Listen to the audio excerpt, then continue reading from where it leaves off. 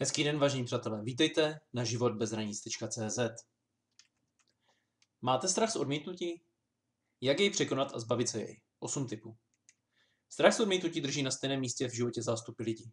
Aby se nemuseli vystavit odmítnutí, raději zůstávají v životě tam, kde jsou, přestože nejsou spokojeni. Jak strach z odmítnutí překonat a přesunout se v životě ku předu? Máte strach z odmítnutí? Pojďte se tohoto strachu zbavit. Existuje celá řada strachu, jen pár jich je vrozených a máme je od malička. Většinu strachu jsme nabrali v průběhu našeho dětství a rozpívání, protože jsme se neporadili s tím, jak takový strach překonat. Tak se s ním táhneme celý život a doslova bráníme sami sobě ve štěstí. Jedním ze strachů, kterým lidé často trpí, je strach z odmítnutí. Ještě donedávna jsem si myslel, že jde o strach získaný v průběhu dětství a rozpívání. Dnes se kloním spíš myšlence, jde spíš o strach vrozený, který je součástí nás všech. Důvod změny mého pohledu? Jednoduché uvědomění faktu, které přišlo, když jsem se přenesl pár tisíc let zpět do historie. Jak jsme v té době žili? Když si to představíte, uvědomíte si, že jsme žili v tlupách někde v jeskyních. Proč jsme takto žili? Protože jedinec v té době jen velmi obtížně přežil sám. V tlupy jsme byli schopni bránit před predátory, co nás lovili před nepřátelskými tlupami, bylo jednodušší ulovit jídlo a podobně. A tak jedním z nejvyšších trestů bylo, že byl člověk z tlupy vyhoštěn. Pro většinu lidí to znamenalo jistou smrt.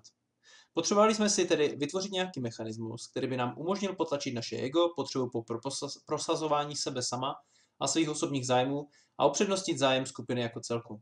Protože jen ve skupině jsme byli schopni lépe přežít a lépe dobít svět, získat potravu či přístřeší v době, kdy to nebylo tak jednoduché jako dnes. Ať už je strach z odmítnutí vrozený či získaný, mnoha lidem brání dosáhnout svého potenciálu a také osobního štěstí. Proč tomu tak je? Protože odmítnutí vnímají jako ukazatel své vlastní osobní hodnoty. A pokud jsou tedy odmítnutí, i hned z toho odvozují, že nestojí za moc a klesají jejich sebevědomí. A tak se potenciálnímu odmítnutí vyhýbají, jak jen mohou, a díky tomu mají jen omezené možnosti ve svém životě. Jenže zažívat strach z odmítnutí to není cesta, jak můžete prožívat plnohodnotný život a stejně tak to není cesta, jak můžete dosáhnout něco, co nazýváme život bez hranic, tedy žít si svůj život podle vlastních termínů pravidla přání. Pokud strach z odmítnutí máte, pak vám tento strach nejspíše brání v aktivitě a nemůžete najít vysněného partnera a nemůžete dosáhnout velkého úspěchu. Protože v obou případech nebudete ochotni vystavit se riziku odmítnutí a tak se raději stánete a spokojíte se s tím, co už máte, nebo se momentálně nabízí a je snadné získat bez toho rizika, abyste byli odmítnutí. Což v mnoha případech znamená, že zbytečně hrajete při zdi a pod svou vlastní úroveň možností, protože bez rizika odmítnutí se toho opravdu nenabízí příliš mnoho. V tomto díle kurzu Resurgimentu Challenge se tedy zaměříme na rozvázání vnímané osobní hodnoty a odmítání a také, jak se tohoto strachu z odmítnutí zbavit. Pojďme tedy na to. Strach z odmítnutí ve všech vyvolává nepříjemné pocity.